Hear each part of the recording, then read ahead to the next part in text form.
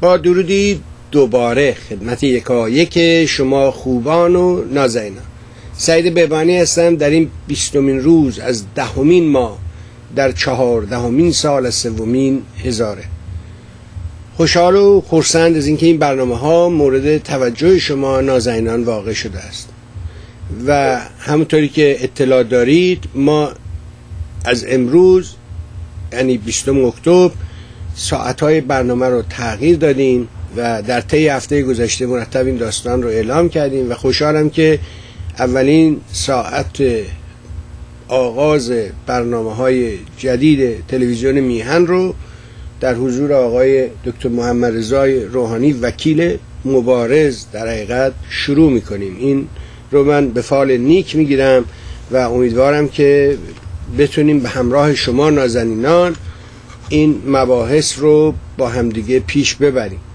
یکی از موضوعاتی که چند نفر از دوستان ما با ما تماس گرفتن و راجبش حرف زدن وضعیت دوباره تکرار می‌کنم. وضعیت interaction بود. وضعیت این که ما از این شرایط منبر بیرون بیایم و سعی کنید که شما نازنینان در برنامه ها مداخله بکنید.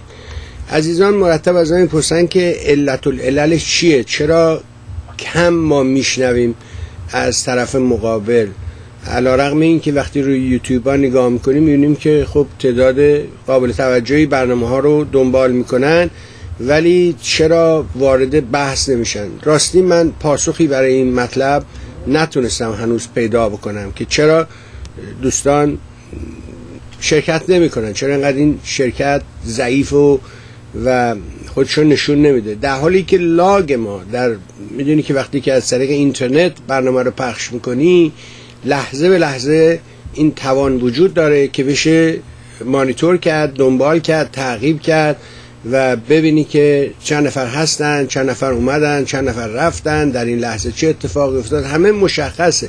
ما از نظر تعداد بیننده می‌بینیم که مشکلی نیست. فقط بحث بسر اینه که چرا این عزیزان در موضوعات دخالت نمی‌کنن که اون واقعا من نمی‌دونم عقلم نمی‌رسه و کاری نمی‌تونم انجام بدم فقط اینه که ازشون خواهش کنیم که آقا تو بحثا مشارکت داشته باشیم. اما از این مقدمه طولانی بگذریم وقت رو بیش از این ضایع نکنیم. چندین موضوع هست که من فکر می‌کنم که می‌تونیم امروز در خدمت آقای روحانی به این مسائل بپردازیم. یکی این که با توجه به پرونده ای که برای خانم ستوده گشودن در یک شعبه چندی پیش اعلام کردن که خانم ستوده از کلیه اتهامات مبراست و ایشون می‌تواند جواز کار خودش رو دوباره فعال کنه و به عنوان وکیل کار خودش رو شروع کنه. اندی از این ماجرا نگذشته بود که دوباره خبر آمد که نخه این بار دادستانی انقلاب شکایت کرده و دوباره این رو بردن و در هیئت وکلای قضات اون بخش بررسی به وضعیت وکلا در کانون وکلا بررسی کردن و دوباره ایشون رو سه سال محروم کردن از این کار. یادمون هست وقتی خانم ستوده از زندان بیرون اومد در یک سخنرانی اعلام کرد که من با جواز و بی جواز این کار رو بهش اش میورزم این کار رو انجام میدم. حالا اگر خودم نتوانم به حال به عنوان مشاور از دانشم استفاده می‌کنن در کنار یه وکیلی که او جواز فعالیت داشته باشه می‌تونم این کار رو انجام بدم. ولی اصولا این ماجرا رو باید از یک وکیل بپرسیم. یعنی یک کسی که مثل آقای روحانی سالهای عمرش رو در این وادی گذرونده در امر در حقیقت آزادی تلاش برای رسیدن به آزادی و اینکه کانون وکلا چگونه باشد. ایشون جز حقوقدانان مبارز ما هستن. من می‌خوام با این در حقیقت پرسش شروع کنم که بعدم خانم سدوده اعلام کرده که نه من نمی‌تونم دوباره درخواست استیناف یا تقاضای دادگاه مجدد بکنم به خاطر اینکه این دادگاه ها همه فرمایشی است و فرقی نمی‌کنه. در ماجرا تأثیری نداره و اثر نمی‌ذاره. می‌خوایم از آقای روحانی بپرسیم که این ماجرا چیست؟ این کانون وکلایی که وجود داره اینا کیان؟ و علا خصوص این سری جدید که انتخاب شدن و وضعیتی که اصلا بحث های مختلفی هست راجع به وضعیت کارون وکلا وضع قانون در ایران قانونگذاری و اینکه برای زنا قانون تهیه کنن که چگونه باشن چگونه نباشن و اثر اون رو در این ماجرای اسید پاشی ها می‌بینی و می‌بینی که خود مقامات آمدند و اذعان می‌کنن به اینکه ما نگفتیم ما گفتیم لسانی تذکر بدیم نگفتیم اسید تو یعنی نشون میده که یه بحث بزرگتری اون پشت وجود داره. پس بنابراین اجازه بده که از طرف خودم و شما خوبان علاقمندان سلامی بکنم با آقای روحانی. خوش آمد بهش بگم و از اینکه زحمت می‌کشه و دعوت ما رو میپذیره. بازم ازش قدردانی بکنم. و با همین پرسش برم بپرسم که اصولا این وضعیت وکلا در ایران چیست؟ چرا این کار به اینجا کشیده؟ این هیئت مدیره اینا کیان؟ چرا می‌توانند چنین کاری بکنن؟ و چرا وضعش اصلا به اینجا رسه در گذشته سابقه چنینی وجود داشته یا خیر؟ آی روحانی من به شما سلام می‌کنم و میکروفون در اختیار شما نازنین است. بفرم با خب، سلام به شما و به هموطنان بزرگوارم که از کنم شکایت من به عنوان یه وکیلی دادگستری و احتمالا ارز کنم شکایت همه وکلای ایرانی از شرایط موجود میشنوند و حتما همکاری خواهند کرد کمک می‌کنند در این شرایط. بگم که من هفته گذشته رو از روزی که خانوم ستوده رو پروانش ابطال کردند. رو سیاه ترین هفته حرفه وکالت می‌کنم حرفه ما ابتداعا از کنم در 1288 شکل گرفت به صورت اجتماع وکلا برای اینکه دولت در کار وکلا دخالت نکنه. شاید رفتن به طرف شرح تاریخ حقوق این مدت که حالا چه می‌دونم 105 سال میگذره ارز کنم که کار خیلی لازمی نباشه از حوصله شما خارج باشه و یه امر فنی باشه که ذکرش خیلی فایده نداره. شاید بیشتر به دانشجویان حقوق می‌خوره ولی ما از 1288 همینجور به ترتیب تا امروز ده ها و صدها قانون مختلف داشتیم. ما در تیم 1607 مرداد 1308 اردیبهشت 1310 بهمن 1315 اسفند 1331 هفت اسفند 1331 اون که ارز کنم حضورتون که پیروزی وکلا بود برای اینکه از 1288 به مدت 50 سال بیشتر از 50 سال نیم قرن تلاش کردن تا در ارز کنم ایام فرمان رواهی مردم ایران ایام نهزت ملی ایامی که مصدق ارز کنم که این مظهر حیثیت ما ایرانیان مظهر حیثیت ما حقوقدانان همچنین ارز کنم بر مسند نخست نشسته بود قانون استقلال کانون وکلا رو در هفت اسفند تصویب کرد. و البته مرحوم لطفی قاضی شجاع و پاکدامن دادگستری که بعد از کودتا ارز کنم کودتا چیا زدند و کورش کردند و در بیماری های ناشی از همون کتک خوردن تو بستر بیماری. نون دیگه از اونجا بیرون نیامد تا مرد. ارز کنم حضورتون که اینها به کمک وکلایی که در تمام این پنجاه و خورده ای سال تلاش کردن تونستن از قانون استقلال قانون وکلا رو بگذارن. بعد از کودتا آمدن دست بردن تو این قوانین ولی در هر حال استخونبندی اون قانون حفظ شد. دو سال بعد یعنی در اسفند 33 ما که ما می‌دونیم بعد از کودتا تمام قوانین که زمان مصدق گذشته بود رو از قانون لغو قوانین زمان مصدق رو تصویب کردن و همه قوانین رو از بین بردن ولی این به قانون استقلال که رسیدن بحث طوری بودش که نمی‌تونستن این حقوق مکتسب رو کاملا نابود کنن.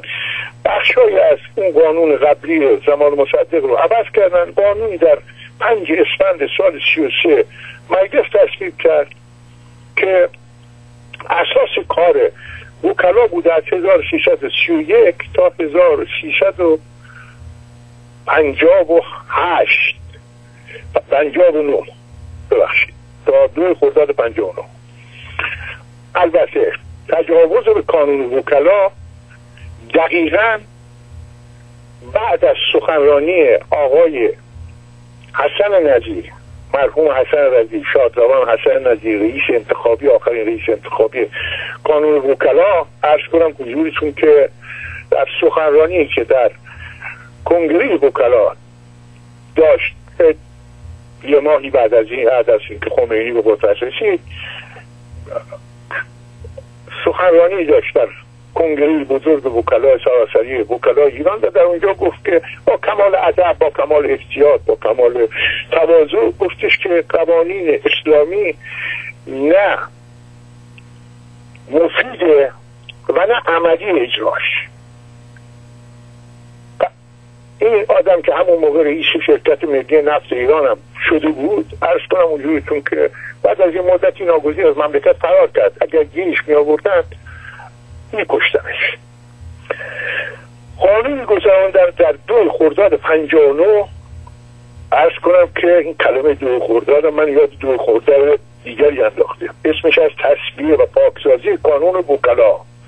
همین اصلاحات در قانون وکلا اصلاحات دو خرداد 59 تا بیایم امروز که دو خرداد تبدیل به حماسه شده برای بعضی و آمدم تصویر و پاکسازی بکنن به خودشون قانون وکلا هر وکیل میهندوش پاک دامن شدایی که وجود داشت و اینا تا تونستن اخراج کردن. بردن هیئت مدیره قانون وکلا رو بعدا بردن به زندان. همه اعضای اینا رو بردن. من همین الان که باتون صحبت می‌کنم ارز کنم که لیست در حدود صد نفر از وکلا که یا کشتن یا ارز کنم به زندان های طویل و مدت اینها رو محکوم کردن. یا اینکه بازداشتشون کردن. یا اینکه ناچار شدن فرار به تبعید آمدن. یا اینکه ارز کنم حضورتون همین الان تحت تعقیبن یا اینکه همین الان در زندان هستن تو دارم. در مقابلم هست که حالا اگر فرصتی بشه برای احترام اسم بخشی از اینها رو حتما اگر وقت بشه خواهم.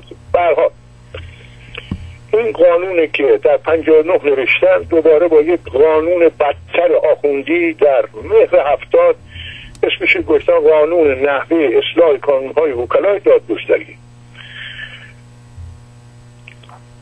در اردیبهشت هفتاد دو این رو باز دوباره تمدید کردند.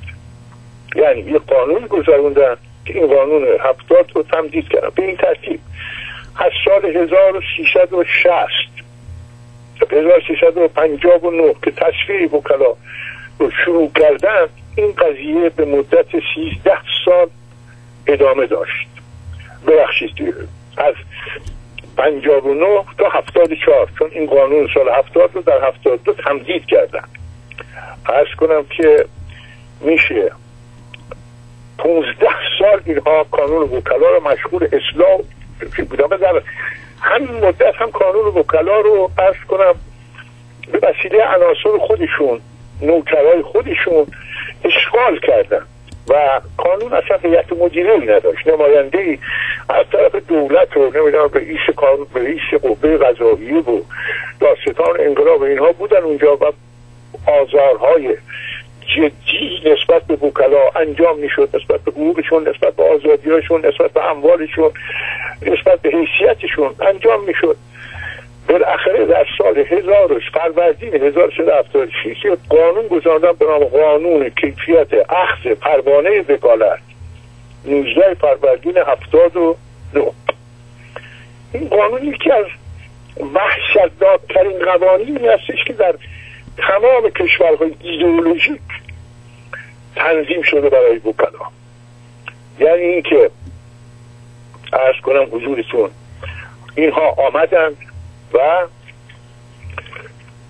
حرفه وکالت رو تبدیلش کردن به در این قانون 19 ببخشید 19 فروردین 76 آمدن ببینید چه چیزایی نوشتن. اعتقاد به التزام عملی به احکام و مبانی دین مقدس اسلام. اعتقاد به تعهد به نظام جمهوری اسلامی ایران ولایت پرده قانون اساسی. و بعد هم برای اینکه این مسائل دقیق باشه آمدن گفتن که برای احراز از مقامات زیشلاق سوال کنن که این اشخاص تو قلبشون به امام طرفدار امام هستن یا نه. بعد هم مبادی گذاراندن که سی درصد وکلا از ایشارگران و از شهدا و از این حرفا از خانواده شهدا از ایشارگران و رزمندگان از این حرفا باشه. به این ترتیب عملا ارز کنم که تلاش کردن به اینکه قانون رو تبدیل بکنن یکی از دستگاه های ایدئولوژیک خودشون.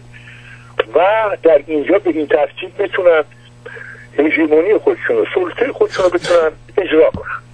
البته موفق هم بودن اما تمام شغله های آزادی خواهی رو نتونستن در اونجا خاموش کنن. تونستن در کانون وکلا باند خودشون رو ایجاد کنن و به این ترتیب اینا آمدن از کنن که انتخابات کانون وکلا رو شروع کردن. و در این انتخابات کانون وکلا آمدن ارز کنم که اجازه که کاندیداها درستن خوبن اینا رو آمدن دادن دست قوه قضاییه یعنی کاندیدا همونجوری که مثلا برای ریاست جمهوری بایستی که شورای نگهبان تصمیم بگیره اینجا هم بایستی که آدمایی مثل نیری تصمیم بگیرن. این خانم ستوده فرمود این گفتش من اعتراض نمی کنم حق داره. نیری باید رسیدگی کن نیری از قاتلای فرزندان ایران در سال 67 آدم سرشناسیه. از قاتلان بزرگه. خب این خانم باید به پیش ایشون شکایت بکنه. حالا میری به اون موضوع هم می‌رسیم. خواستم بگم خدمتتون که اعضای هیئت مدیره رو باید از اونجا بگذن باز هم با همه این صافیایی که گذاروندن باز هم آدم های شریفی پیدا میشن که در این حرفه ایستادن و از همین میدان بسیار بسیار محدود ارز کنم که حرفی که باقی مونده برای مانوفشون وظایف انسانی و قانونی خودشون انجام میدن. و این اشخاص یکی دو تا ده صد تا نیستن. و در سراسر کشور هستن و در سراسر کشور سر تقریبا و مشکلات بسیار بسیار بزرگی در پیش دارند برای اینکه این قوانین رو که همین الان با همه این فضاحت هاش وجود داره هنوز کافی نیست. آمدن باز هم یه قانون دیگری گذاروندن به نام قانون ارز ماده 187 اصلاحی. آمدن گفتن توی یکی از این فوانهشون آمدن و توی قانون بودجه در ماده 187 قانون بودجه نوشتن که قانون وکلا نوشتن که قوه قضاییه می‌تونه مشاور حقوقی و اینا تربیت کنه مشاور حقوقی اینا تبدیل شد به یک دستگاه دیگر ارز کنم که وکالت در موازی همین دستگاه منطقه در اختیار ارز کنم قوه قضایی در اختیار صادر داریجانیه.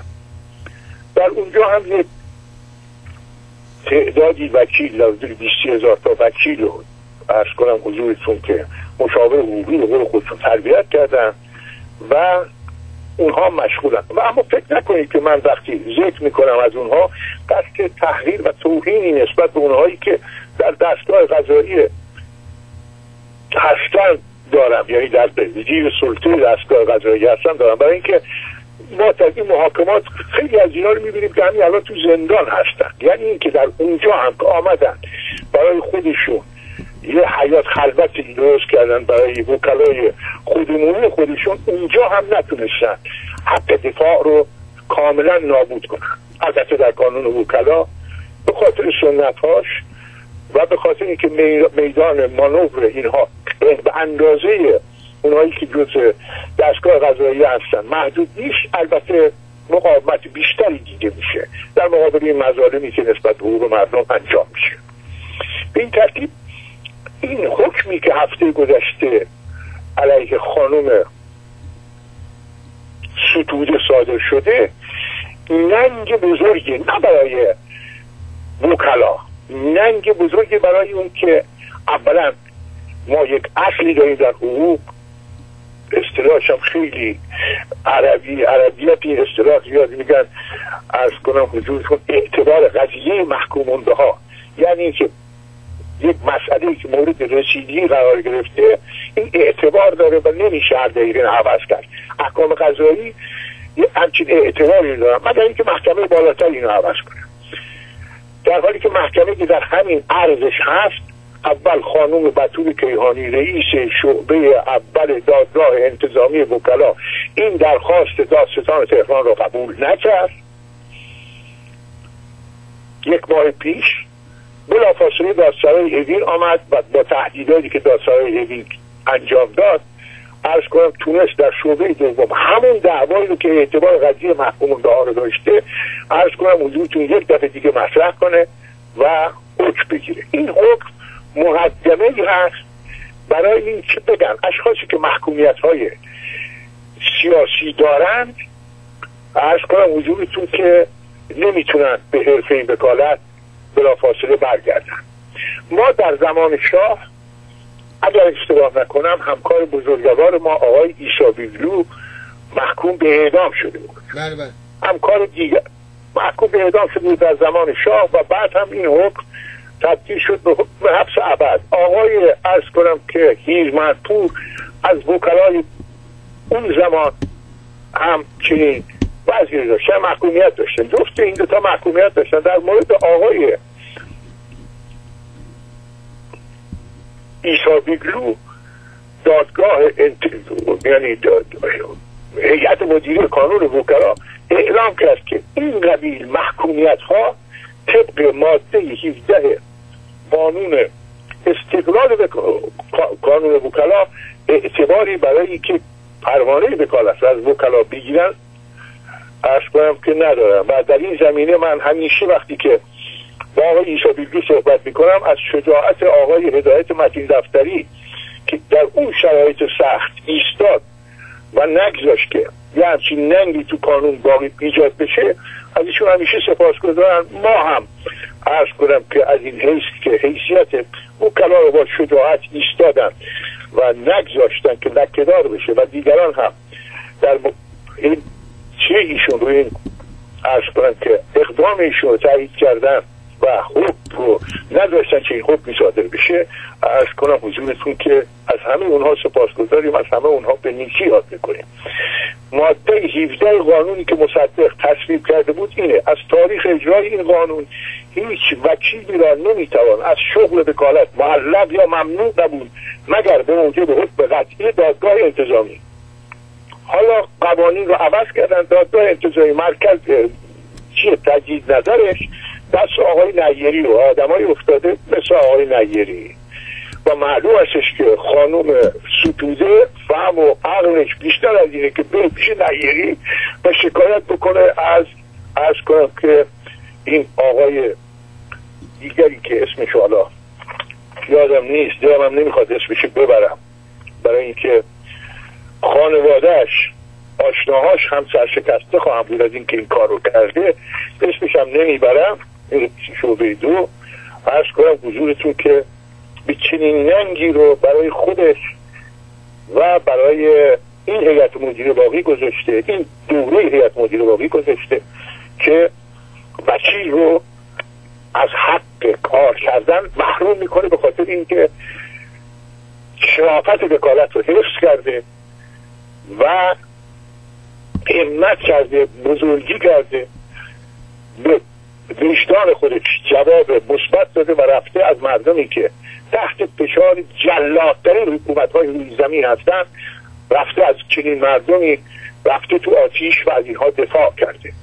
بعد هم حکم در یازده سال زندان گرفته سه سالشو کشیده و به علت حساب غذاهایی که کرده احتمال خدا اینا کرده مرگ این زن جوان وجود داشت. ارز کنم حضورتون که این رو ناچار شدن آزادش کنن. بسیار حالا آزادش کردن. آیرانی ببخشید. من یه سوال اینجا برام مطرح میشه.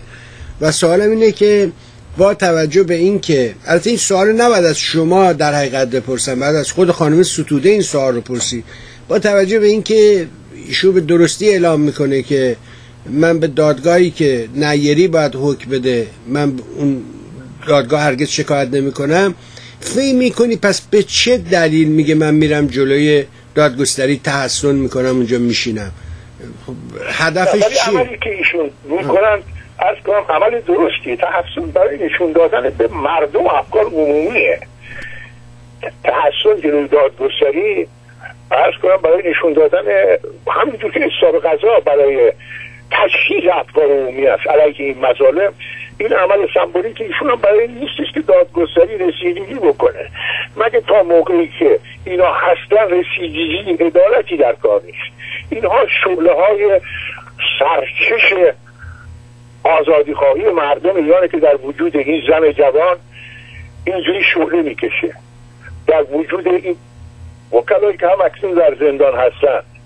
در وجود بسیاری از این خانوم ها این خانوم ها در چی در حرفه ما عرض کنم حضورتون که خیلی شهامت به خرج داده من الان اسم تعدادی از اینا که به زندان رفتن رو دارم.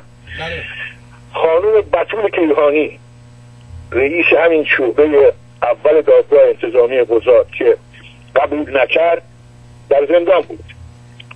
خود خانم ستوده خانم فاطمه عقلمی خانم سارا سباقیان خانم فروغ میرزایی مریم کرباسی روزا قراچولو مریم محمدی سیما قوشه مهرنگیز طالبی مهرنگیز کارخیران و البته خانم شیرین عبادی. همه اینا تحت تعریف بودن یا فراری بودن یا زندانی بودن. و خانم ها ارز کنم حضورتون همونجور که تو کوبانی اصلا رو دست گرفتن در ایران هم ارز کنم قلم هاشون رو دست گرفتن. از روز 18 اسفند که من افتخار داشتم در کانون ارز کنم 18 اسفند سال 57 در کانون نگهبانی می‌دادم. ارز کنم که در کانون چی داشتم؟ اونجا معمولیت داشتم که از مردم پذیرایی کنم. و اینها آمده بودن به دادگستری 17 اسفند 18 17 18 اسفند سال 57 تا امروز این زنان هستند که واقعا این پرچم‌ها نگاه داشتن شما راجع به همین مسئله اسید صحبت کردید. بله. چرا اینا اسید می باشن برای اینکه یک روز یک روز اینها نتونستن از مقاومت انواع و اقسام مقاومت زنان در سراسر ایران از دانشگاه ها بگیرید محلای کار بگیرید خیابون ها بگیرید مدارس بگیرید. اینا یک روز اینها امان نبودن. یا یک روز در هیچ جا امان نبودن و از کنم حضورتون که حالا که کارشون به اسید باشی رسیده. فکر می‌کنم که با شما خود شما صحبت می‌کردم. چند وقت پیش که گفتم 22 تا دستگاه وزیر کشور فصلی توی مجلس گفت 22 تا دستگاه تا الان داریم. یکی دیگه هم درست کردم برای حجاب و افاف و از این داستان ها 22 تا دستگاه تو مملکت برای عرض کنم که دیگه حد اکثرش این دستگاه آخرشون که این دیگه اوج پیشرفت جمهوری اسلامی هست که زنان دختران ما زنان ما رو تو خیابون ها با اسید بسوزونن و برای اینکه ایجاد وحشت و ایجاد ترس بکنن. این زنان کوبانی در ایران هم عرض کنم حضورتون ایستادن با قلمشون با لباسشون ایستادن. با قلمشون ایستادن و با قدمشون و من واقعا به این دخترانمون به این زنانمون به این خواهرانمون و مادرانمون افتخار می‌کنم. ارزم به حضور شما که آقای روحانی من یه پرسش دارم. شما اشاره به نام دکتر نزیح کردی یادش گرامی باد و ایشون که سخنرانی کرد و بعد هم مجبور شد از ایران بیرون بیاد و فرار کنه و تا آخر عمرش اینجا هر وقت که باش نزدیکش می‌شدی به راستی اشک میریخ از سویدای دل. ولی وقتی که اون رو گرفتن اولین بار در روزنامه ها نوشتن که بله زیر تخت اتاق خواب ایشون و همسرش هم حالت تناسلی مصنوعی پیدا کردیم ولی صدا از کسی در نیامد. در همون لحظه هم کسی نیستاد. یا مثلا در جلسه پیش که ما راجع به وضعیت آقای امیر انتظار صحبت می‌کردیم و اون ماجراها و اینکه آقای بازرگان حاضر نشد به طور مستقیم به آقای خمینی بگوید. این نوع رو درواسی ها فکر می‌کنی که تا چه حد می‌تونه مؤثر باشه در روند وحشیگری جمهوری اسلامی؟ ما یه جوری با اینا مثل که رو درواسی داریم. بعضی از چیزا طرحش ارز کنم جباهتش رو از بین می‌بره. من در یاد داشتم که داشتم به این کسافتگاری البته نه به ساعتی که شما گفتید اشاره قبول در داریم. اخلاقا آدم نمی‌تونه همچین کلامی بگه. این فقط اخلاق آخوندیست که می‌تونه همچین حرفای از دهنش در بیاد ارز کنم حضورتون که ما در طول تاریخمون انواع اقسام جسارت ها و توهین ها رو شنیدیم. اما این یکی دیگه رو دست همه زده. من در اون زمان خانم نزیز در پاریس بودن. پیش دخترشون که اون موقع دانشجو بودن. همسر من هم ارز کنم در اینجا بود. من از همسرم خواهش کردم که فورا برو این خانم رو ببین.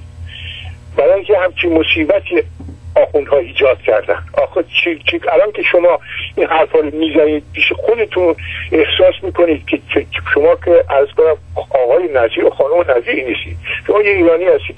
فکر می‌کنید چقدر ایجاد تشنج در اعصاب شما در اعصاب من می‌کنه وقتی که چنین کلامی میشنوم اصلا. بنابراین اگر کسی به این مسئله به برخورد نکرد دلیلش عدم نفرت نیست. دلیلش اینه که تکرار بعضی از دقاحت ها دقاحت رو تبدیل به یک امر عادی می‌کنه و این کار کار آخوند هاست. من در یکی دو تا از این یادداشت‌ها نوشتم که ما این انتقام رو در دادگاه ها از اینها خواهیم گرفت. باید به دادگاه ها یا متوسط خواهیم شد پیداشون خواهیم کرد چه کسایی چنین کسافتکاری های مرتکب شدن. اگر مرده باشند هم ارز کنم وجود این ننگ رو به مردم معرفی خواهیم کرد. این نزیح مرد بسیار شرافتمندی بود مردی بود از پایگزارا با با آیت طالبانی از پایگزارای نهضت آزادی بود. و ارز کنم که این در شعن خود آخوند هاست هم گفتن این حرفا و تبلیغ این حرفا که هیچ دشمنی نیست. من ندیدم یزید و نمی‌دونم اینا که میگن تو صحرای کربلا به نوامیس امام حسین و اینا از این حرفا زده باشن. البته اونا فامیل هم بودن. بله. یعنی از یک تایفه بودن فامیل بودن. و از کنم ولی از این حرفا نه ما نشدیدیم که یه همچین وقاحت هایی به خرج بده. این وقاحت ها همین الان که شما میگید من اون متشنج کرده. شنیدنش متشنج می‌کنه آدم رو. ارز کنم حضورتون که بنابراین این وقاحت ها و اینا به زن و بچه مردم به هم دیگه تجاوز می‌کنن. تعارف نداریم که آقا رئیس مجلس خوشی می‌کنه تو زندان پنج ساله. رئیس نخست وزیر خوشی می‌کنه تو زندان پنج ساله. همین دیروز بود پیروز بود که دختر میر حسین موسوی اعلام کرد که ما همسایه جنتی بودیم. جنتی بچه های بی پدر یتیم از نوه خودش رو و اینکه پسرش جز شهدای مجاهدین محسوب می‌شد. و بچه ها تو خونه پدر بزرگ بودن تو مقررات. ارز کنم حضورتون که پدر بزرگ این بچه ها با سیخ با سیخ داغ با پتک با شکنجه نگهداری می‌کرد. اینا یه همچه حیواناتی هستن. تازه این رئیس شورای نگهبان اخلاقیات و قوانین این جامعه هستی از کنم شما حق دارید ولی این توهین تنها به نزیح نبود. توهین به تک تک مردم ایران بود. توهین به تک تک حقوقدانان بود. به تک تک اشخاصی بود که مورد دشمنی این رژیم قرار گرفتن. و, و امروز در حقیقت فکر می‌کنی که ما که در خارج کشورین در قبال این داستان خانم ستوده و که ایشون در حقیقت یه نمونه است یه, یه،, یه تابلو این قضیه است. در پشت این هزار جنایت دیگه صورت می‌گیره. وقتی مثلا آقای جنتی رو شما بهش اشاره می‌کنیم ماجرا رو اشاره می‌کنه که ما باید مثل دادگاه موسولینی با اینا برخورد می‌کردیم. از موسولینی فقط گفتن اسم چیه؟ و احراز هویت کرد بعد اعدامش کردن.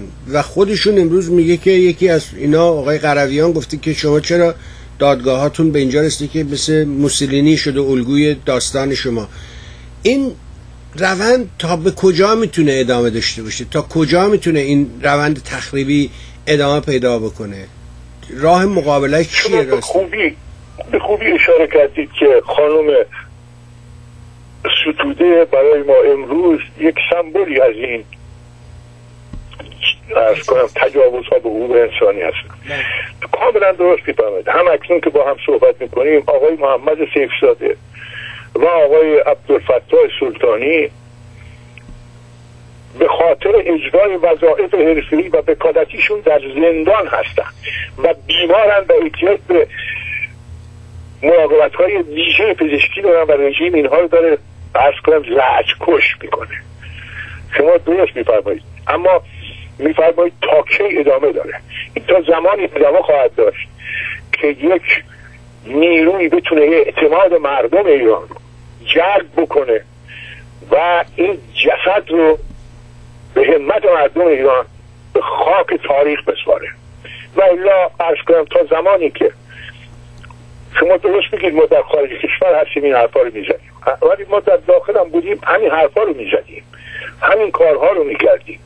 و ارز کنم حضورتون که همکنون هم در ایران مقاومت در اشکال گوناگون در جاهای گوناگون وجود داره. منتها بایستی اینها تمرکز پیدا کنه. هم اکنون که با هم صحبت می‌کنیم در 20 تا 15 روز پیش 20 روز پیش بود که وکلای 7 8 نفر از وکلای دراویش اعتصاب غذا کردن به مدت 33 4 روز اعتصاب غذا کردن. پس مقاومت در سراسر میهن از جمله و مهمتر از همه در زندان های میهن علیه این رژیم وجود داره. چیزی که وجود نداره از کنم وجودتون که وجود یک مرکزی هستش که بتونه اعتماد مردم رو جلب بکنه و مردم با اعتمادی به مبارزه علیه اینا برخیزن همه چی برای نابودی اینا همه چی هم شرایط بین المللی وجود داره هم شرایط داخلی وجود داره. هم شکست تاریخی اینا وجود داره. این شما اشاره کردید که آقای مهندس بازرگان رو درگاسی کرد. نه من تصور نمی کنم رو درگاسی کرد؟ مهندس بازرگان اون موقع به عنوان یه سیاست مدار چتکه انداخت گفت که اگر من عرض کنم حضورتون این آقا رو از صحنه به در نبرم می‌دونست که می‌خوان بلا سر این آدم بیارم می‌دونست می‌خوان امیر انتظام رو نابود کنن. به همین گفت آقا این حکم بگید فردا صبح اول وقت با اولین هواپیما از کشور خارج شد و آقای امیر چرا؟ برای اینکه بازرگان وقتی میری توی صحنه ای بایستی که یه باش باشن وقتی تو کابینش اعضای کابینش این تصمیم نامه لحظه مجلس خبرگان رو امضا نمی کنن این از تو کابینش ضعیفه. بگذاریم از این که در اون زمان هم مجاهدین هم پداییان ارز کنم وجودتون که دشمنان اعلام شده شخص امیر انتظام بودن و در این قضیه امیر انتظام کمک نمی کردن و کسی هم جرأت دفاع از ایشون نداشت. آقای دکتر تابنده پذیرفت نگذاشتن. قبول وکالت کنه دکتر مقصودی پذیرفت. برای دکتر مقصودی پرونده داشتن. دکتر مقصودی اعدام کردن. دکتر حشمت الله مقصودی وکیل بزرگ ما رو اعدام کردن. ارز کنم حضورتون که آقای گلزاده غفوری رو گفتن که تو ارز کنم حضورتون حق به دفاع کنه در که این آدم دکترای حقوق داشته. و بعد هم چنین محدودیتی در دادگاه های انقلاب وجود نداشته که چه کسی می‌تونی بیاد بکارت کنه چه کسی نمی‌تونی بیاد. به هر حال عرض کنم حضورتون که بازرگان هم در اون موقع اگر وارد چنین رو درواسی مورد شما نمی‌شد به نظر من باید محاسبه درست سیاسی نمی‌شد کار زودتر از 13 آبان که اینا رفتن سفارت آمریکا رو گرفتن حل و فصل می‌شد.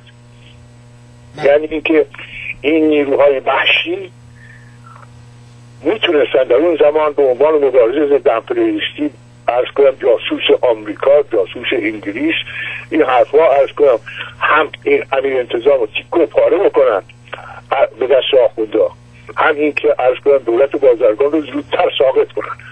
به حال وقتی آدم آدمی که در عالم سیاست هست وقتی که در چنین جاهایی قرار می‌گیره بین بد و بدتر ناگزیر انتخاب می‌کنه. من بازرگان رو از این حیث مرحوم بازرگان رو از این حیث قابل سرزنش نمی‌دونم. برای اینکه به حال اونم یه محاسباتی میبایست بکنه. با با کدوم لشکر می‌رفت به پلو خمینی میریستن خمینی که به این آقای آقایی که اسمش گفته بود رئیس دولت امام زمان به این آقا گفته می‌زنم تو دهنت. وقتی که رفت راجع به ابطال مجلس خبرگان صحبت کرد. ببخشید من دارم از یک مسئله به یک جای دیگه میرم. نه خوبه. اتفاقا خوبه. برای اینکه من می‌خواستم اتفاقا به این داستان اشاره کنم. یه قدری به بحث بریم توی ریشش و اینکه مثلا قریب 150 سال پیش مستشار دوله تبریزی می‌گوید که یک کلمه و اون قانون و تلاش می‌کنه برای قانون و بعد بر راستای همون قانونه که ما صاحب مجلس قانونگذار می‌شویم. و بعد وقتی که رضا به سر کار میاد در حقیقت یه جوری ماجرای این آخوندا رو دستشون رو دور می‌کنه از بحث محاکم شرعی ثبت و ثبت اسناد و احوال و اینا اینا رو ازشون دور می‌کنه. اوقاف ازشون می‌گیره. ولی بعد در یه پروسه دوباره اینا بر میگردن و قدرت رو به دست می‌گیرن. یعنی یه چیزیه که اون زیر وجود داره و تا اون قانون در حقیقت معنی نشود. مثل آزادیه که برای مردم هنوز معنی نشده. تا اون قانون هم معنی نشه من فکر نمی کنم که اتفاقی بیفته. برای اینکه این قانون رو تعریف بکنی و جا بیاندازی تلاش زیادی من نمی‌بینم انجام بشه. اگر من اشتباه می‌کنم تو, تمام کشورهای منطقه تو تمام کشورهای مسلمان نشین الان اخیرا گفتن مسلمان یک چهارم مردم روی زمین هستن. بله. هر کدوم از اینها که امکانات دموکراتیک وجود داشته باشه ارتجاع مسلط میشه. این ارتجاع ممکنه که با نعلم باشه یا با چکمه باشه. هیچ فرقی نمی‌کنه. نتیجه چیه اینا مکمل هم دیگه هستن. یا با هم همکاری می‌کنن یا با هم دعوا دارن. الان ببینید در لیبی اینا با هم دعوا دارن. در عراق با هم دعوا دارن. در عرض کنم حضورتون که در تونس خوشبختانه دعوای مقداری چی شده؟ در مصر دعوا دارن. برای اینکه نیروهای دموکراتیک در جامعه سازمان یافته نیست. نیروهای لایک در جامعه در جامعه ایران الان به احتمال 99 درصد. اولین جامعه مسلمان نشین هستش که به طرف رو پیش خواهد رفت. بدون تردید که آرزوی بزرگ مردم من عرض کنم که دارم از دستور جلسه باز خارج میشم. به شما این مجده میدم که درسته که ما آبمون کثیف شد دریاهامون خوش شدن کثیف شدن از کم هوامون کثیف شد. حیات اجتماعی ما به کسافت کشیده شد. اعتیاد ایجاد شد. برنده جایزه ارز کنم رکورد رکورددار مجازات اعدام شدیم. بعد وقتی های بیش زیادی گرفتیم. 90 درصد 80 درصد 90 درصد مردم زیر خط فقر هستن. ولی ما یک مرحله بزرگ تاریخی رو گذروندیم. یعنی از ارتجاع جامعه ایران نجات پیدا کرده. به طور تاریخی نجات پیدا کرده. عملا آره دیگه نمیشه. عملا می‌بینیم که می‌خوان بدون چه می‌تونم با احراز هویت می‌خوان هم دیگه رو پاره پاره کنن. می‌خوان هم دیگه تیک تیک کنن. هم دیگه هم می‌خوان تیک تیک کنن نه ماها رو دقت کردیم میگه که بایستی این رهبران فتنه رو فقط احراز هویت کرد. باید اینا رو چی کرد؟ از کنم که اعدام کرد مثل چی؟ موسولینی. و اینها ارز کنم حضورتون که پاسخگوی جامعه ایران نیستن. اگر بودن اینا ناگزیر نبودن که اعلام بکنن. هفته گذشته اعلام کردن اینها. من از دستور جلسه خارج میشم ولی به نظرم شما مرا خواهید بخشید. شنوندگان شما هم منو خواهم بخشید. ارز کنم وجود هفته گذشته توی گزارش 55 صفحه ای وزارت اطلاعات 16 نهاد امنیتی داده.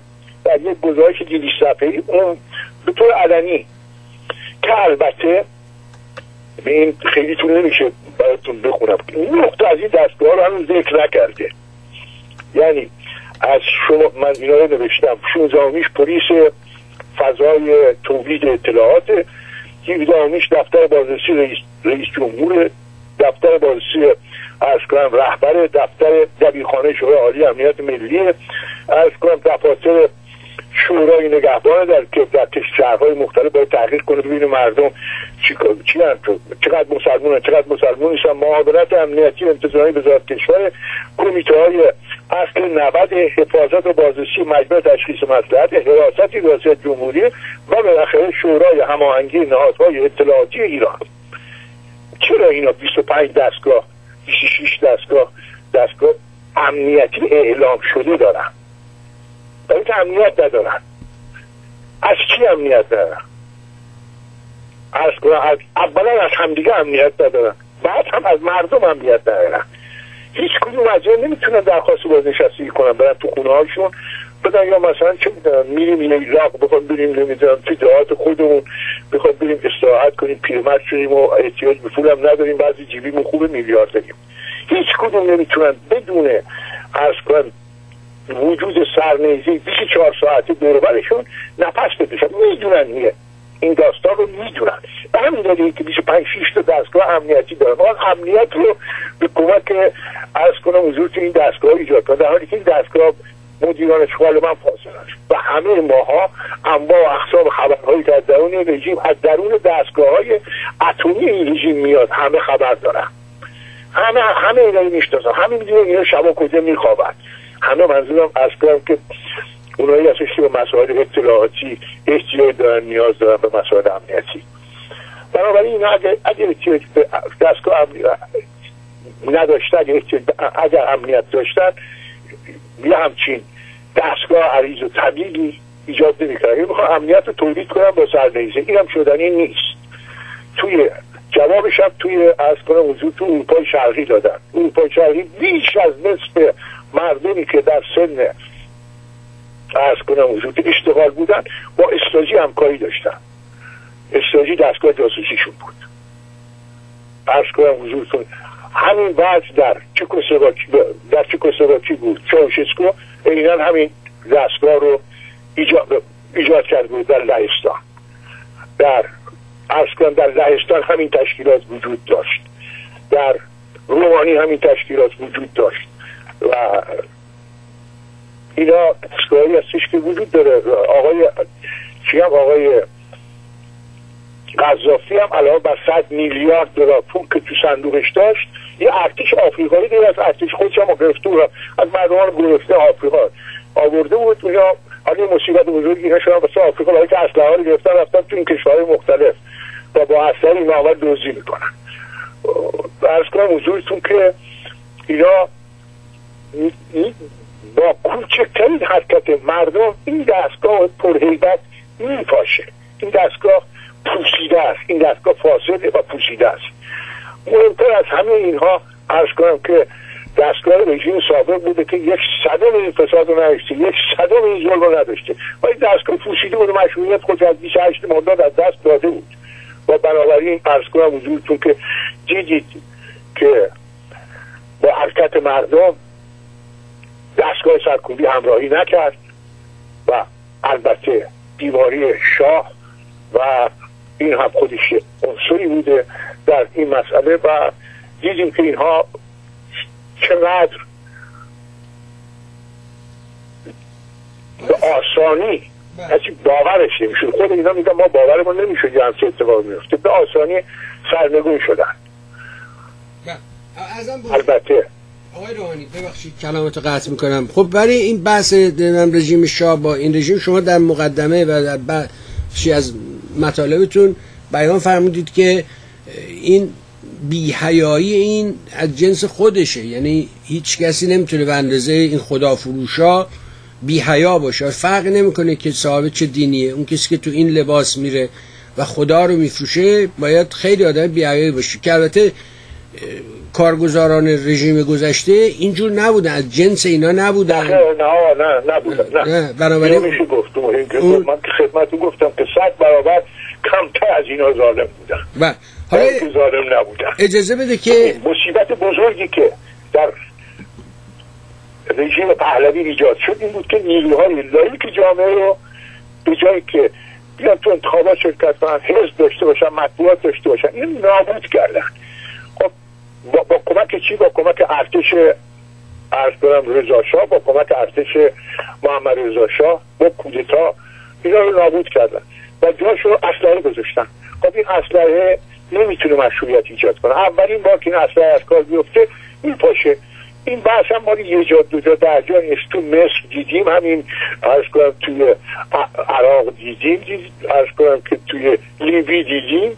توی همه این کشورهایی که این اتفاق میفته این ازش حکومت مشروعیت خود در بین مردم از دست میده. بله. این مشروعیت که داریم میگیم تنها جنبه فلسفی و ایدئال ها و اینا نیست سفره مردم هم هست. درسته. یعنی تنها عناصر ذهنی مثلا چه می‌دونم ولایت فقیه نیست نه سفره گرسنگان بیماری هاشون امنیت نداشتنشون. این, این بدبختی هم هست یعنی عناصر ذهنی و عینی هر دو در جامعه ایران موجوده. چیزی که موجود نیست ارز کنم که یک اتحاد ملی هستش که بتونه مردم به هم نزدیک کنه. ازم بزرگ برای اینکه از مطلب اون زیاد دور نشیم اجازه که ازت خواهش کنم که یه فرجه به ما بدیم ما این صحبت های خانم ستوده رو بشنویم شاید کمک کنه و روی موضوع خانم ستوده دوباره متمرکز بشیم. میزه بدین که این مطلب رو با هم بشنویم. ممنون. روی روز.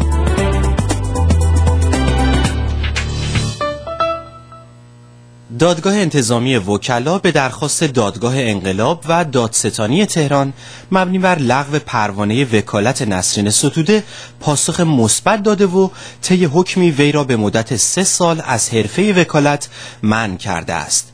میترا شجاعی در تماس با نسرین ستوده در مورد چرایی صدور این حکم و نیز نحوه اعتراض این وکیل به حکم صادره پرسیده است.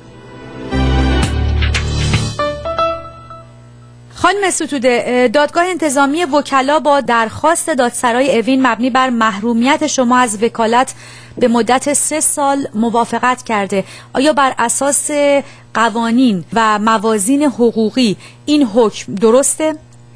این حکم به کلی استقلال کانون وکلا رو نفی کرده من ناچارم که مراتب تأسف خودم رو از این حکم که مستند خودش رو حکم دادگاه انقلاب قرار داده اعلام کنم مستند این حکم حکمیه که از دادگاه انقلاب صادر شده و همینطور اعلام کنم که قضات شعبه دوم دادگاه انتظامی وکلا به کلی از مسیر بیطرفی خارج شدن و مکررا در رأی صادره از شاکی به عنوان شاکی محترم یاد کردم.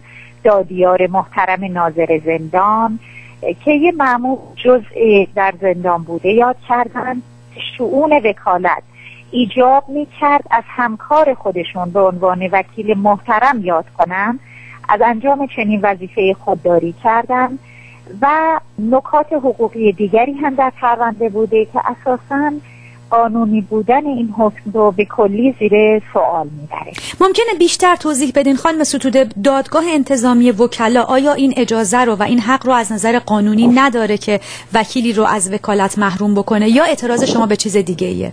اولا تنها مرجعی که صلاحیت لغو یا تعلیق پروانه وکلا رو داره دادگاه انتظامی وکلا هست این صحیح نیست که دادستان یک کشور از همه امکاناتی که در اختیارش هست سوء استفاده کنه یک روز متهم رو در دادگاه کیفری محاکمه کنه یک روز دیگه در مرجع دیگری محاکمه کنه و هر بار از یک مرجعی علیه کسی که تحت تعقیب قرار داده حکم بگیره. من در حالی توسط دادگاه انتظامی وکلا مورد مجازات مجدد قرار گرفتم که یک سال از آزادی میگذره. آزادی که نه مشخص بود به چه دلایلی بازداشت شده بودم و نه مشخص بود به چه دلایلی آزاد شدم. و حتی تا امروز هم هیچ دلیل کسری به من ابلاغ نشده که به چه دلیلی آزاد شدم. بنابراین صدور چنین حکمی از طرف قضات این دادگاه خانم نوابه استحبادی و آقایان ماجد و سوقی و میقائمی بسیار تعجب برانگیزه توجه داشته باشید. چه قبل از انقلاب و چه بعد از انقلاب همواره کانون وکلا برای لغ یا تعلیق پروانه وکلای مستقل تحت فشار بوده. اما نه هرگز بر اساس احکام صادره از دادگاه های نظامی. و نه احکام صادره از دادگاه انقلاب پروانه وکلای مستقل خودش رو تا به حال تعلیق خانم ستوده اوایل شهریور ماه ولی اعلام شد که دادگاه انتظامی وکلا اصلا درخواست دادستانی رو مبنی بر لغو پروانه وکالت شما در حقیقت بهش واقعی ننهاده و گفته که تعلیق پروانه وکالت شما غیر قانونیه و شما می‌تونید همچنان به حرفه خودتون ادامه بدین. پس چی شد در این مدت از شهریور تا الان که دوباره نظر این دادگاه عوض شد؟ شعبه اول اون حکم رو یک ماه قبل از این صادر کرده بود و اساسا حتی تعلیق پروانه من رو هم رد کرد. اما چون دادستان دعوای دیگری رو که مربوط به همین پرونده بود همون پرونده بازداشت برخلاف قانون هیئت مدیره وقت این رو به شعبه دیگری ارجا داده بود. نهایتا شعبه دوم دادگاه انتظامی رو به سه سال محرومیت از وکالت محکوم کرده که به طور آشکاری برخلاف موازین حقوقی و قانونی هست. خانم ستوده در جاهای صحبت از این هستش که ظاهرا دادگاه انتظامی وکلا تحت فشار بوده برای صدور چنین حکمی. آیا این رو شما خودتون شنیدید؟ به شما چنین چیزی گفته شده؟ مکررا رئیس و نایب رئیس کانون وکلا و رئیس شعبه دوم دادگاه انتظامی وکلا به من اظهار داشتم که به خاطر پیگیری پرونده انتظامی من تحت فشار هستم. در چهار ماه گذشته علاوه بر مکاتبات فراوانی که از سوی دادستانی تهران پلیس امنیت و وزارت اطلاعات به کانون وکلا ارسال شد چهار تن از مدیران سابق و لاحق کانون هم به دادسرای مستقر در زندان اوین احضار شدند. بنابراین مجموعه شرایطی که ایجاد شده بود معلوم بود که جدی رو فضایی رو ایجاد کرده که صدور چنین حکمی رو پیش بینی کردم به همین دلیل من قبل از ابلاغ رأی دادگاه انتظامی و قبل از اینکه مطلع بشم از وجود این رأی نامه ای رو به هیئت مدیره کانون وکلا فکس کردم که پی اون از هیئت مدیره خواستم که در واقع رسیدگی به پرونده من تا رفع فشارهای بیرونی متوقف بشه. انتظارم این بود که کانون وکلا به این خواسته قانونی من عمل بکنه اما اینطور نشد و رأی رو صادر کرد. در حال حاضر تصمیم شما برای اعتراض به این حکم چی هست خانم ستوده؟ من البته از این حکم به دادگاه انتظامی قضات اعتراض نمیدم. قوه قضایی دستگاه قضایی دستگاهی است که ناعادلانه من و بسیاری از همکارانم رو روانه حبس و بازداشت کرد. به جرم انجام وظایف حرفه که همکنون نیز همکاران عزیزم وکلای شجاع ایران آقایان عبدالفتاح سلطانی و سید محمد سیدزاده آقای مصطفی دانشجو و انتصاری هنوز در بند هستم ولی من با استفاده از حقوق مدنی خودم با تحسن در جلوی کانون وکلا مراتب اعتراض خودم رو به این رأی و اقدامات این دادگاه اعلام خواهم کرد. بسیار از شما سپاسگزارم خانم نسرین ستوده در تهران. خب این فرمایشات خانم ستوده رو شنیدیم. امیدوارم که صدا برای شما هم منظر کافی بوده و شما هم شنیده باشید. من سوالی رو که که من قبلا شنیده بودم بله. صحبت های خانم رو و این امر که رؤسای کانون رو احضار بکنن برای تحت فشار قرار دادن برای من تعجب آور نیست. ولی ما در شرایطی ایستادیم در مقابل در برای انجام وظایفمون که این مشکلات رو هم نه به این شدت داشتیم. من خودم در پاریس بودم و جمعیت حقوقدانان برای برای یک محاکمه معمول کرد که بیام ایران. و آمدم. قبل از اینکه بیام در این فاصله ای که ما می آمدیم و می‌رفتیم وکلا رو کتک می‌زدن یه چیز درست شد به نام گروه انتقام ملی. بوم گذاشته بودن جلوی دفتر آقای متین دفتری. آقای ارز کنم حضورتون که داریجی رو تو خیابون رو کتک زده بودن. و شدیدن کتک زده بودن آقای لاهیجی رو. من که آمدم چی؟ به طور طبیعی از کنم حضورتون که حق دفاع رو برای خودم میشناختم. بنابراین شاید برای شما تعجب آور باشه ولی من میگم خدمتتون که من یه کارت کمری گذاشتم بعد این چاو کشا چون اینا نمی‌خواستم ما رو بکشن اینا می‌خواستم ما رو از کنم لطو پار کنن که بترسونن دیگران رو. ما هم یه کارت کمری گذاشتیم بغل از کنم کمربندمون رفتیم قانون نشون دادیم گفتیم آقا ببینیم ما از خودمون دفاع خواهیم که این دستگاه اطلاعات علاوه هم خبر بدیم که دست به ما بدن ما می‌زنیم. مگر اینکه از دور و گله بزنن که ما راحت میشیم خب اونها بلا فاصله رؤسای قانون می‌دونه یعنی اصلا مسئول وقت قانون می‌دونست که آبروریزی بزرگی براش و تماس گرفت. ارز کنم حضورتون فکر می‌کنم با آقای منصوریان رو موقع تماس گرفت. فکر می‌کنم منصوریان تو دربار مشابه دربار بود. ارز کنم حضورتون که و اطلاع دادن که این آدم آمده اینجا و ممکنه مقاومت بکنه معمول چی بشه؟ آدم کشی بشه. بنابراین مقاومت کردن. وکلا تحت فشار بودن مقاومت می‌کردن. رؤسای بیش از همه هیئت مدیره قانون وکلا از خانواده های مختلف سیاسی از خود شادوستا اونجا بودن اونا نمی‌کردن این کارا یعنی فکر نکنید که از کنم اون موقع همه نظیر و متین دفتری رو دکتر دامغانی بودن. نه اون موقع از همین اشخاص طرفدار رژیم شاه هم در اونجا بودن. ای بس و اکثریت هم داشتن. ولی این همه رضالت نداشتن که تن بدن به این که بیان همکاری بکنن با دستگاه آدم کشی خامنه ای و حیثیت خودشون خانوادهشون. همکارانشون رو از کنم ملعبه دست این بازی ها قرار بدن. این حرکات که انجام شده به طور تاریخی اینها رو پیش مردم ایران سرشکسته خواهد کرد. من امیدوارم که ارز کنم وکلای ایران در تهران یکده هزار وکیل داریم. ای کاش که روزی که قانون تشریف می‌برند جلوی قانون وکلا ای کاش که تعدادی از اینها بیان بیستن و نگاه کنند و از این مجسمه ارز کنم که استقامت و آزادی دست بگیرن. از این من مذرد بخوام کلمه مجسمه رو به کار بردم.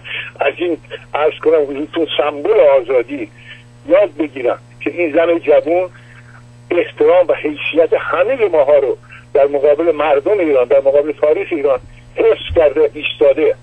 ای کاش که دیگران هم بیان در چنین روزی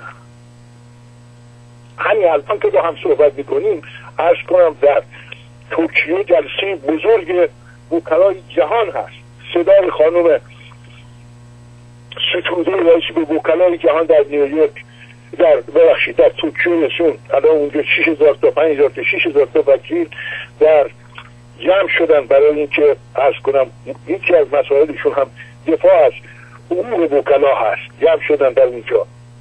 در قانون بین المللی وکلا از از روز جلسه داره تا 24 رو کاش کسانی که صدای منو میشنوند ارز کنم برای حمایت از این زن به این کنفرانس ارز کنم که قانون بین المللی وکلا تماس بگیرن اعتراض مردم ایران رو برسونن چه از داخل کشور چه از خارج کشور. الان هم از وقتی که چنین درخواستی رو عنوان کردیم ما ارز کنم تعدادی چند نفر از وکلا یا همچین درخواستی رو در نامه های گوناگون اعلام کردیم. این لاریجانی که به قول خودشون رئیس نمی‌دونم رئیس روابط بین المللی قوه قضایی هست و قبلا هم بوده. این ارز کنم اونجوریتون که وکلایی رو که از ایران به مجامع بین المللی میرند رو قبلا صدا می‌کنه از نمایندگان خودشون هم. می‌تونسته تا اونجا مراقبت کنن. بنابراین اونهایی که از ایران میرن به این کنفرانس ها کنفرانس این به این کنفرانس ها میرن اینا تحت فشار هستن.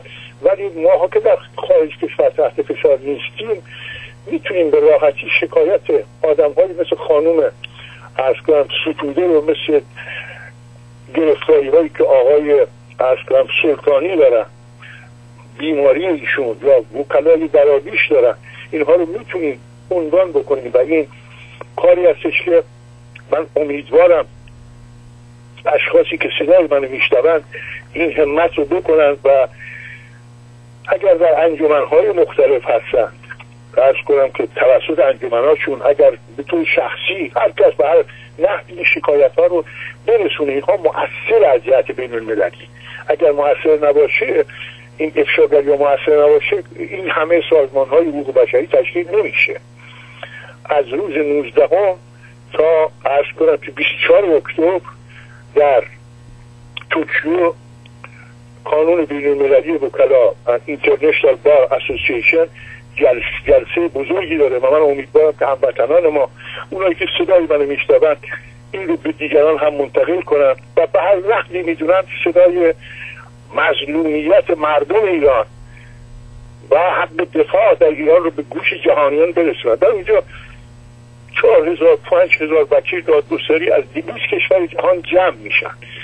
و احتمالا هم پرش کنم که از ایران اونجا خواهند رفت اینها در اونجا هم تحت مراقبت نمایندگان لاریجانی جواد لاریجانی برادر همین رئیس قضاییه توی سمت مشاور امور بین المللی و حقوق بشر و از این حال این کارها موثره و باز هم جلسه دیگری در ارز کنم که در دوران هست در ببخشید در مونپولیه است از 28 اکتبر تا 31 اکتبر که ارز کنم ببخشید بله ارز کنم حضورتون که یکی از بحث در همین مونپولیه که مال کنوانسیون ناسیونال دزاوکا هستش که در حدود 6 تا وکیل از سراسر دنیا میان به اونجا. یکی از مبا... مباحثشون مباحث سگانش یکیش وکیل محافظ دموکراسی این در مونپلیه فرانسه تشکیل میشه جلسه کنوانسیون ناسیونال دزاوکا در خود ایران هم 22 آبان کانون وکلای ایران تشکیل جلسه میده. تشکیل جلسه عمومی میده. من آرزو این است که این قانون وکلای مرکز 17 هزار وکیل داره. فقط قانون وکلای دادگستری مرکز 17 هزار وکیل داره. ای کاش که اینها همت کنند و برن در این جلسه و بپرسند بپرسند این بدبختی رو که قانون ایجاد کرده چرا ایجاد کرده؟ چرا نایستادن؟ آقای روحانی ببخشید من کلامات قطع می‌کنم. می‌خوام بپرسم که حالا که بحث کانون وکلا در ایران هست. این استراکتور اون در حقیقت بنیادش چجوریه؟ یعنی اینکه این هیئت رئیسه چجوری انتخاب میشن که این آقای وسوقی می‌تونه مثلا یه چنین چرخشی بکنه و علیه همه مبانی حقوقی انسانی شرافت و کرامت انسان این مقابل اون بیسته. چجوری اینا انتخاب میشن؟ نحوه انتخابشون چجوری آیا اینم مثل بقیه سازمانهایی که در ایران هست از بالا تعیین می‌شود؟ یا راستی راستی؟ من, متاسف من متاسفم بگم خدمتتون. فکر می‌کنم که دقیقا مثل ریاست مثل کاندیدای ریاست جمهوری در ایران مثلا دو هزار نفر هر کسی با شوخی هم به عوضی شوخی می‌کنن. این اسم میگیسن ولی مثل, مثل اونجاست. یعنی که شورای نگهبان تشخیص میده چهار نفر خوبن مثلا بقیه خرابن. بنابراین از کنم حضورتون که همین آقای نیوری جلاد معروف باید تصمیم بگیرید چه کسی می‌تونه انتخاب بشه. بنابراین اینا قبلا از صافی های مختلفی میگذرن. ولی یک بسا بعضی از اینها ارز کنم حضورتون که اشتباها بعضی از اینها در میرن از چی؟ ولی اصولا مثل مثل انتخاب ریاست جمهوری وکلای مجلس اینا بایستی که از شورای نگهبان اینا اسمش هست آقای نگیری رئیس کلش هست آقای نگیری یعنی دادگاه اشخاصی می‌توانند کاندیدا باشن کاندیداتی روشون اعلام بکنن که از کنم به قانون بگم ما کاندیدا هستیم قانون بفرسته پیش آقای نگیری آقای نگیری بگه آره حسن هست حسین نیست. همین دفعه هم 16 نفر از اینا اجازه ندادن که چی بشن اجازه ندادن کاندیدا بشن. بنابراین اینا از صافی میگذرن. ولی من که دارم میگم از صافی میگذرن منظورم نیستش که همه اینها آدمای ارز کنم حضورتون عنصری هستن. این بسا در ذرا اینا آدمایی هستن که هنوز شعله از مقاومت از آزادی خواهی در وجودشون هست و شاید بتونن مؤثر واقع بشن. در حال الان دعوت عمومی که در تهران هست روز 22 آبان جلسه عمومی وکلای ایران هست اینا بهترین فرصت هستش که برن اونجا بپرسن. از این اشخاصی که از این احکام میدن اونجا اینا تمام وکلا البته من خدمتتون بگم که در انتخابات اخیر کانون وکلا در کانون وکلای مرکز که به هر حال مهمترین کانون کشور هستش حدود ارز کنم آقای رئیس فعلی کانون وکلا ده درصد آرا رو آورده. 25 درصد از وکلا در انتخابات شرکت کردن. نفر آخر هم یه خانومی هست به اسم خانم میترا زرابی که از بین 17 هزار نفر واجدین رای 850 رای 54 رای آورده. یعنی که وکلا کاملا از اینا ناامید ناامیدن. ولی به نظر من اجتماع روز 22 آبان در تهران جلسه عمومی وکلا در تهران می‌تونه جایی باشه جای مناسبی باشه برای اینکه این اشخاص رو با هر روشی که می‌دونن مورد سوال قرار بدن که چرا چنین مظالمی رو به وکلا می‌کنن در مقابل چه چیزی؟ در مقابل چه امتیازی؟ همکاران خودشون رو که وظایف انسانی اخلاقی قانونی وجدانی خودشون انجام دادن رو تنها می‌گذارن. علاوه که تنها می‌ذارن به صف دشمن میپیوندن. در حالی که اینا نمایندگان چی هست اجازه بدید من می‌تونم بگم که همین آقای رئیس کانون وکلا وقتی که دکتر کاتوزیان فوت کرد با خوشحالی آمد فرض کنم که جمله از دکتر کاتوزیان رو گفت. گفت که دکتر کاتوزیان تسلیم زر و زیون نشد. حالا من سوالم اینه که آقای توی مراسم تطفیلش بود. دکتر این جمله دکتر کاتوزیان به زور و زر نگفت. روز 16 شهریور در مراسم تدفین کاتوزیان حالا آقای رئیس قانون اگه خوبه تو هم که به هر حال همون جایی که دکتر کاتوزیان رفته هممون میریم. چرا با خودت ننگ هم می‌کنی؟ چرا به زور زر تسلیم میشی؟ تو با اشخاصی مثل تو بایشی جواب بدی. چرا؟ آقای روحانی آقای روحانی من بذار این سوال رو اینجوری مطرح بکنم و اونه که وقتی که در ایران یه تحولی. حرکت های صورت می‌گیره حرکت های اعتراضی به گونه های مختلف مثل انتخابات رئیس جمهور 88 و غیره بحث های مطرح میشه تحت عنوان خشونت گریزی که نباید این کاری کرد و بعد مثال هایی میاره مثل ماندلا مثل گاندی از اینا مثال میاره ولی خب خانم ستوده و آقای سیفزاده سلطانی اینا هم همه مثل ماندلا مثل اون دیگری گاندی و اینها خب وکیلن حقوق خوندن و چرا اینجا که در عمل که می‌رسد سوالم اینه که چرا وقتی در عمل می‌رسد اون حرفی رو که به من می‌زنه خودش نمی‌تونه اجرا کنه؟ یا مثلا شما اشاره می‌کنی که 17 هزار عضو داره از این 17 هزار تا 25 درصدش میره شرکت می‌کنه. چرا اینو نمی‌تونه که بالاخره وکیل بخش تحصیل کرده است؟ بحث آدم های حقوقدان کسایی که اسقص جامعه قانون و حقوق اون جامعه است. خب این خودش چرا این کار رو نمی‌کنه؟ علت چیه؟ چرا مشارکت جدی نمی‌کنه؟ ولو اینکه حالا رأیش عوضی در بیاد. ولی چرا تن به مشارکت نمیده. اینو نمی‌فهمم. خب این چرا تبلیغشو به من می‌کنه؟ خودش عمل نمی‌کنه انتخاباتی هستش که وکلا قبلا روی انتخاب می‌کنه. خب مردم نمیرن.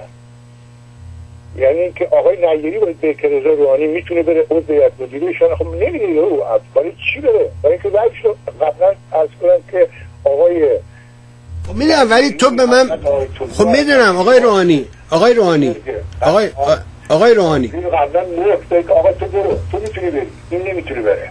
بنابراین اسم کلمه به اسم انتخابات اصولا در جمهوری اسلامی با توجه به حرفایی رو که تو قوانین نوشته اصلا وجود نداره. این روزنامه نگارای خارجی میگن در ایران انتخابات از حرف غلطی می‌زنن غلط می‌کنن. در ایران انتخابات نیست در ایران نمی‌تواند انتخابات باشد. وقتی در انتخابات میگن که آقا تو بایستی قلبت به ولی فقیه باشه. من من دستگاه دارم که می‌بینی تو قلبت می‌بینی تو هستی نه اون گواهی میده. بعد آقای نیهی تازه اون گواهی رو نگاه می‌کنه. تصمیم می‌گیره آره یا نه. چه انتخاباتی؟ کدوم انتخابات ریاست جمهوری؟ کدوم انتخابات ارز کنم مجلس شورای اسلامی؟ کدوم انتخابات؟ چرا اصلا این کلمه رو ما اینجوری به کار می‌بریم؟ انتخابات وجود نداره. برای وکلا حق دارن که ارز کنم وجود ولی نرن توی این بازی ها برای اینکه به اینا اعتماد ندارن. موقعی که آخرین انتخابات کانون وکلا بیشتر 80 درصد وکلا رأی دادن. تعداد آرایی که مثلا آقای نزی آورده در حالی که تعداد وکلا اون موقع سه هزار تا نبوده دو هزار کف بوده مثلا شاید رأی همین آقای که الان 18 هزار تا وکیل تو تهران هست رأی حتما بیشتر بوده. رأی آقای مسیح حتما بیشتر بوده. به نسبت اگر حساب بکنیم. دقت فرمودید من در اون انتخابات آقای متین دفتری نفر اول شد. حتما رأیش از این رئیس قانون فعلی قطعا بیشتر بوده. بله, موقع... بله آقای روحانی به نسبت ببینیم حتما بسیار بیشتر ببینیم آقای روحانی آقای روحانی ببخشید. اون موقع اصلا قابل قیاس نیست به نظرم به خاطر اینکه اون موقع یه شور آره. یه شوری در جامعه بوده جامعه امیدی داشته. و انقلاب کرده بوده و به امید اون اومده. من موضوعی که مطرح می‌کنم این نیست که در ایران انتخابات وجود داره. من میگم که وقتی شما به من مردم عادی کوچه بازار تبلیغ می‌کنید میگی مشارکت کنید مشارکت کنید و بعد مثلا برید فرض کنید یه دوره میگو آقا برید با آقای امیر عباس امیر امیر انتظام رای بدین. به عباس امیر انتظام رای بدین. خود خب چرا این وکیل که بلده خودش این کار نمی‌کنه؟ خودش نمیره مثلا اسم پروانه معصومه من فرهاد اکبر اونا رو بنویسه بنویسند و به جایی که اونو بنویسه. نمیشه نمیشه نه. اجازه بدید من به تو خدمت عرض بکنم. بفهمید که من بفهم اشخاصی رو آوردن میگن شما می‌تونید به اینا رای بدید. شما مثلا تو انتخابات ریاست جمهوری به جایی که مثلا میشی روحانی چیه؟ حسن روحانی بنویسی محمد رضا روحانی. محمد رضا روحانی کاندیدا نیستش که. این نمیشه چی کاری رو انجام داد عملا. میشه مسخرهشون کرد میشه دستشون انداخت. ولی فایده ای نداره. اثری نداره. میشه رفت رای سفید ریخت. اما رای سفید نمی‌خونن. اعلام نمی‌کنن. میشه رفت رای باطله رفت میشه روی رای شعار نوشت پشت داد انداختون تو. ولی اینا که اعلام نمیشه. بنابراین از کنم تو که اونجا کاری که میشه کرد و قانون نکرده. و کتکشون می‌خوره خودشون بی آبرو میشن ناچار میشن که با دست خودشون همکاران خودشون رو اخراج بکنن به خاطر اجرای بزار قانونیشون. دلیلش این هستش که پایه ندارن کسی اینا رو قبول نداره. اگر اینا رو قبول داشتن همه 17 هزار تا بچه جمع می‌شدن یک روز اینا نمی‌تونستن مقاومت بکنن. در یه آین نامه نوشته بود این شاهرودی همین کاری که الان تو قانون جامعه وکالت رو انجام میدن یه آین نامه نوشته بود که همینجوری معنی داشت. ولی وکالات ایستادن و اون ناچار شد پس گرفت. همین الان هم که از موضوع خانم ستوده هستش همین الان قانون دایه وکالت دعوا هستش بین روحانی و بین ارز کنم که لاریجانی. برای اینکه لاریجانی می‌خواد دستگاه قانون وکلا کاملا قورت بده. روحانی می‌خواد کاملا اون قورت بده. کمی قورت بده. بنابراین یه دونه لایحه هیئت دولت فرستاد و برخلاف تمام مواد قانون اساسی همین رژیم.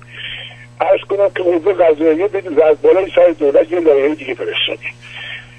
به بلا فرصت بسیار خوبی هستش که مثلا ارز کنم وجودتون روزهای سیوم مهر و یکم آبان در کرمان اتحادیه سراسری وکلای دادگستری جلسه داره. وکلا در اونجا حاضر بشن. حداقل وکلای همون استان حاضر بشن.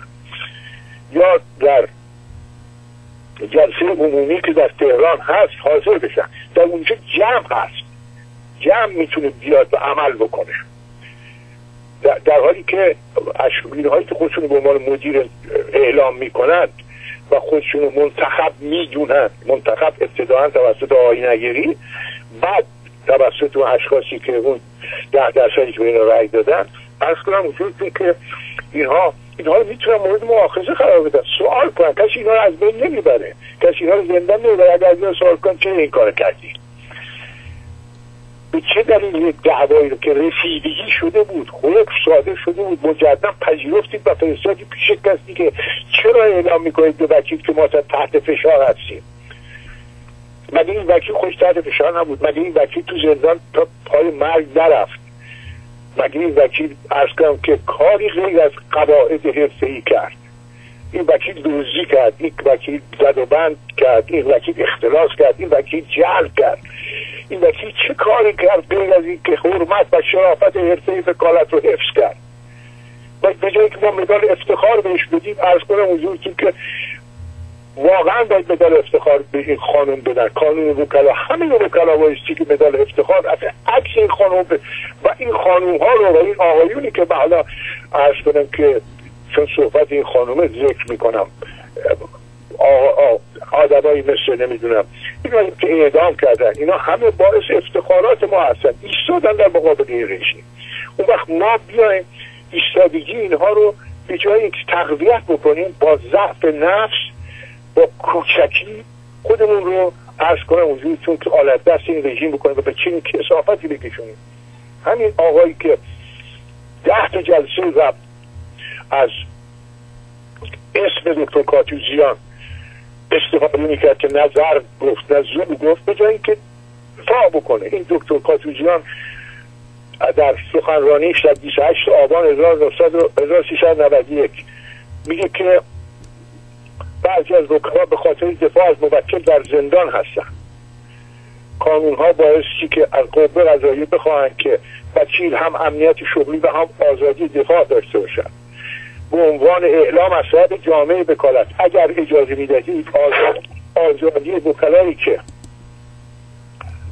فقط به خاطر دفاع از موکل در بازداشت هستن را در تقاضا می‌کنن 28 آبان 1391 همایش سراسری وکلای ایران. خب چطور شما وقتی که عکس دکتر رو می‌گیرید دستتون مردم رو جمع می‌کنید واسه خودتون از کار و زورتون نمایش نمایشنامه درست می‌کنید نمایشگاه درست می‌کنید آخونده رو جمع می‌کنید. چطور چرا به این حرف رو گوش نمی‌کنید؟ وقتی میگی استاد ماست این مظهر ماست. فقط و فقط ارز کنم حضورتون که از نام و حیثیت دیگران سو استفاده کردن بفرم حالا امروز باید امتحان جواب این آدم ارز کنم حضورتون و همکار فراریشون رو بدن که چه چرا شما میگی که استاد ما بوده به ضرب و به زور نگفته. چرا دو سال پیش آقا درخواست می‌کنه که آزادش کنید در حالی که عضو رد مدیره نبوده؟ و تو که عضو رد مدیره بودی ارز کنم اون دو سال پیش دکتر میگه تو جلسه سراسری بکلا در نو شهر بخشید در بوشهر میگه شما چرا نمی کنید؟ چرا اسم این آقا رو می‌گیرید رو دوشتون راه میرید؟ آبرو برای خودتون درست بکنید. آقای دکتر روحانی اجازه که چون فرصت چندانی نیست من یه پرسش آخری رو مطرح بکنم و اون در ارتباط با ماجرای یک زندانی دیگری است به نام خانم ریحانه جباری که این رو یه بازی در آوردن و این رفته از اولیای دم در حقیقت رضایت بگیره. و ظاهرا اونجا دو نفر بودن که نمیذاشتن که اون خانواده مختول سرمدی هر چیز میشه است اونا موافقت کنن با این تقاضا. حالا در یک چنین شرایطی از نظر حقوقی وضعیت این دخترک چیز یعنی واقعا اگه نتواند از اونا رضایت بگیره و اعدام بشه یا راه مفر دیگه هم برایش وجود داره از نظر من؟ ارزگاه وجود تو البته من مورد خاص این خانوم و پرونده این خانوم نمی‌تونم. ولی به دلیل فقر عجیب و غریب جامعه دچار شده مردم گرسنه بچه های کنم که جوون خودشون رو تا خیلی زود اطفال رو میفرستن به خونه شوهر. شوهر 60 سال 70 سالشه دختر مثلا چه می‌دونم 12 سالشه. ده سال بعد این میشه خانم 22 ساله قوی اون یکی میشه مرد پیرمردی که با یه لگت میفته بنابراین ما می‌بینیم که قتل زنا قتل شوهر توسط خانوم های امر خیلی رایجی شده در کشور.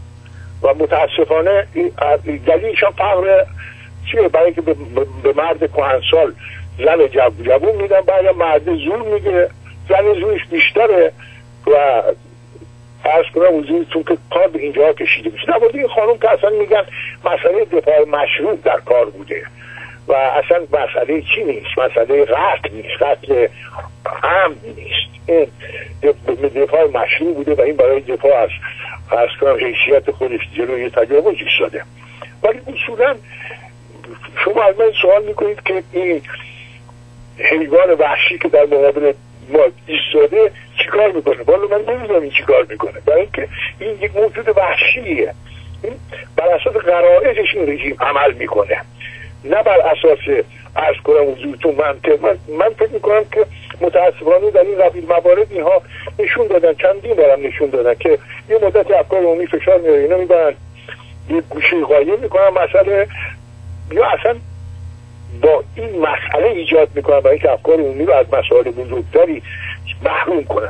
ولی به هر حال اینها دست از جنایت بر نمی‌دونن از این نوع آدم ها که بهشون میگن زندانیان دیگه یکی دو تا ده تا صد تا نیست. خیلی بیشتر از این حرف اشخاصی هستن که حالا این خانم ظاهرا پولی فراهم شده که برن رضایت بگیرن. تو اشخاصی هستن که اصلا ممکن نیست بتونن یه همچی پولایی رو جور بکنن برن پول بدن. به حال قابل پیش بینی نیست رفتارهای این رژیم جلاد بخشی بسیار ممنونم آقا سپاسگزارم. قصدتون کردیم. امیدوارم در فرصت دیگر باز دوباره بتونیم از دانش شما استفاده کنیم. و از این همت بلند شما من از شما سپاسگزارم و امیدوارم که هموطنان ما از خواهش استدعای من در مورد افشاگری به مقامات بین المللی در مورد خاص خانوم و موقعیت بسیار بسیار سیاه وکلای ایرانی دریغ نکنند و در این راه کمک کنند. شب شما بخیر موفق باشید. قربان شما متشکرم از حضورتون در برنامه. به هوا گفتگوید با آقای دکتر محمد رضای روحانی وکیل مبارز. امیدوارم که این گفتگوها کمکی کرده باشد. درنگ کوتاهی بکنیم و در خدمت شما خوبان نازنینان باشیم. ممنونم از توجهتون. متشکرم.